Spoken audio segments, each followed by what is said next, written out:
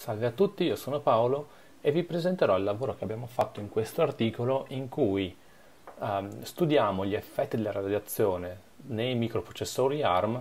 confrontando e combinando uh, uno studio fatto uh, ne- negli stadi iniziali del design del chip uh, con gli studi fatti a livello fisico. Noi sappiamo che i microprocessori attuali hanno performance sempre più elevate e sempre, funzionalità sempre più complesse, ma questo fa anche sì che questi dispositivi siano più fragili e che possano essere uh, corrotti da svariati effetti, per esempio la radiazione o difetti di produzione, la, de- la degradazione o uh,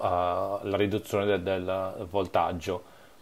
Se vogliamo far sì che questi uh, problemi siano risolte, di solito serve un overhead, bisogna pagare un costo. È chiaro che più presto nel design del, del processore io riesco a capire cosa devo modificare, eh, meno questa modifica mi costerà. Il processo di vita eh, di un chip comincia con il design, eh, poi si creano eh, i modelli di performance microarchitetturali, si ha descrizione RTL, e alla fine si ha un dispositivo hardware che poi verrà messo nel mercato. Il dispositivo hardware può essere esposto per capirne l'affidabilità a dei fasci accelerati di particelle che in poco tempo riescono a darci una valutazione realistica e molto dettagliata uh, della reliability di questo dispositivo. Ma purtroppo se io vedo che il dispositivo non è sufficientemente robusto, cambiare il design è molto costoso. La valutazione dell'affidabilità la posso fare anche a livello RTL, che comunque mi offre una, uno studio uh, con, con, grande dettaglio, ma purtroppo questa analisi è uh, molto lenta e ancora una volta cambiare il design diventa molto costoso. Infine, uh, se lo studio dell'affidabilità è fatto a livello microarchitetturale, riuscirò ad avere un'analisi abbastanza veloce con un livello di dettaglio interessante e uh, siccome i modelli uh, microarchitetturali sono disponibili nei primi stadi del design del processore, fare il redesign non è così costoso. I guasti sono eh, generati ovviamente nel silicio a livello hardware e poi questo guasto si propaga a livello circuitale, poi a livello RTL e poi alla fine si manifesta a livello microarchitetturale. È chiaro quindi che una valutazione dell'affidabilità del dispositivo più fatta più vicina all'hardware, quindi con dei beam experiment uh, fatti su dei prototipi hardware, questa valutazione sia più realistica, mentre invece una valutazione fatta a livello microarchitetturale diventa più efficiente ed è fatta uh, nei primi stadi del design. Il nostro contributo è cercare di capire quanto una valutazione fatta a livello microarchitetturale sia accurata quanto una valutazione fatta con esperimenti con fasci accelerati sul dispositivo finale in hardware. Per fare questo compare- confrontiamo l'affidabilità studiata con Beam Experiment e con un'iniezione di guasti fatta a livello microarchitetturale su uh, un dispositivo ARM A5 standalone e un dispositivo A9 integrato in un sistema complesso e studiamo l'effetto della, dei, dei, guasti sia nel codice eseguito uh, bare metal che sul codice eseguito su uh, un sistema operativo Linux. La nostra idea appunto è cercare di capire quanto sia diversa la valutazione fatta negli stadi iniziali del design da quella fatta con un dispositivo fisico e uh, cercare di capire quanto l'integrazione del, della, del processore in un sistema complesso hardware e l'uso del sistema operativo modifichi le caratteristiche di affidabilità del codice. Nel dettaglio abbiamo uh, eseguito del, degli esperimenti accelerati uh, con fasce di neutroni ai laboratori CIPIR nel Regno Unito e LANS in America uh, su un'ARM A5 nella, nella, scheda di Microchip e su un'ARM A9 in una scheda della Xilinx. I nostri test hanno dato una dose di neutroni ai dispositivi che equivale a più di 18 milioni di anni di, uh, di, esposizione ai neutroni naturali, per cui riusciamo ad avere una, una, statistica molto buona. Inoltre abbiamo fatto degli esperimenti di iniezione di guasto sui modelli Gen 5 usando uh, il, l'iniettore di guasti Jeffin e siamo riusciti a predire uh, l'error rate, quindi il tasso di errore dell'armo, moltiplicando la VF, cioè la probabilità di un guasto di propagare all'uscita, con eh, la sensibilità della tecnologia, cioè la probabilità che il guasto sia generato. Vi presenteremo i dati ottenuti con più di 176.000 iniezioni di guasti. Abbiamo considerato quattro codici per dispositivi, uh, per dispositivo eseguiti sia uh, bare metal che uh, in, con, con Linux e abbiamo studiato la probabilità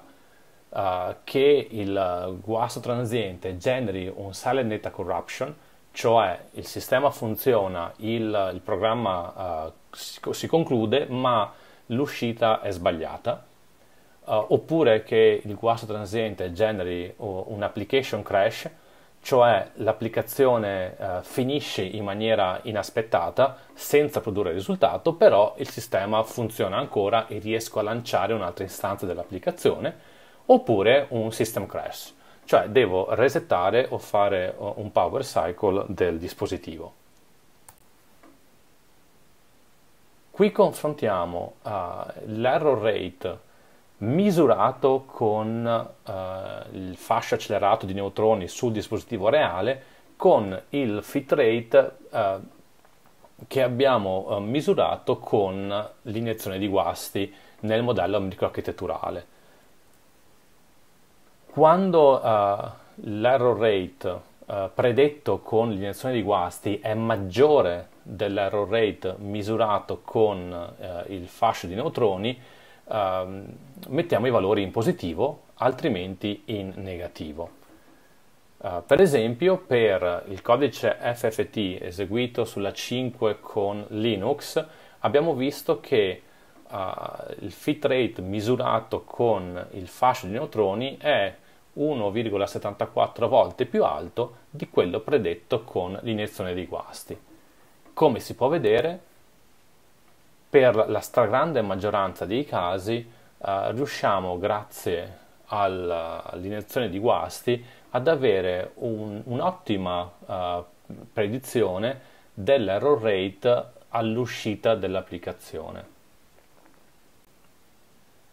Se invece noi uh, guardiamo al confronto fra lo studio fatto sul modello microarchitetturale e sul dispositivo hardware per, uh, per i crash, quindi uh, l'application crash o il system crash, vediamo che, vediamo che uh, per il chip standalone A5 riusciamo ad avere una predizione accurata anche per l'application crash, mentre per il system crash e per l'application crash su il dispositivo integrato in un system on chip Uh, abbiamo due ordini di grandezza di differenza. Questo significa che la maggior parte degli errori che generano uh, un application crash in un sistema integrato succedono fuori dalla CPU, cioè i modelli non simulati con Gen 5. Simili risultati li abbiamo ottenuti per il system crash e vi suggerisco di guardare il paper per maggiori dettagli. correlando tutti i risultati che abbiamo ottenuto, riusciamo anche a capire quanto l'integrazione della CPU in un sistema complesso e l'uso del sistema operativo impattino l'affidabilità del dispositivo. Secondo i nostri risultati, la probabilità di avere dei sender data corruption, quindi all'uscita uh, dell'applicazione, non, non, non, muda, non cambia molto uh, se noi abbiamo la CPU integrata in un sistema on chip o uh, se usiamo un sistema operativo. Al contrario, uh, i, i, crash e gli application crash e system crash sono significativamente aumentati fino a due ordini di grandezza quando noi integriamo la, la CPU in un sistema complesso oppure usiamo il sistema operativo. Concludendo, abbiamo visto che combinando uh, un'iniezione di guasti a livello microarchitetturale e uh, degli esperimenti con neutroni accelerati su dispositivi fisici, riusciamo ad avere una valutazione dell'affidabilità del dispositivo che sia sia accurata che realistica. Abbiamo visto anche che la probabilità di avere dei segni di data corruption all'uscita dell'applicazione non è modificata dalla presenza del sistema operativo o dall'integrazione della CPU in un sistema hardware più complesso. Al contrario, la probabilità di avere dei, dei crash, quindi dei reboot o degli hang, cambia significativamente quando c'è il sistema operativo oppure il, la, la, il, processore è integrato in un sistema più complesso. E abbiamo dimostrato come uh, con uh, un fine tuning della fault injection a livello microarchitetturale riusciamo a predire sufficientemente bene la probabilità di avere degli errori all'uscita delle applicazioni. Questi sono i nostri sponsor che dobbiamo ringraziare e vi ringrazio per uh, l'ascolto.